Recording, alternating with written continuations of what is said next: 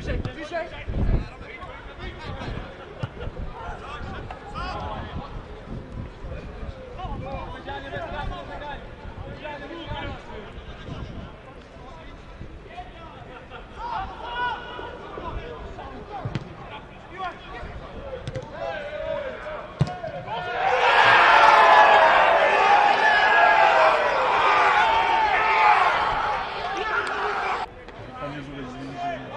Uważaj, bo teraz może być gol.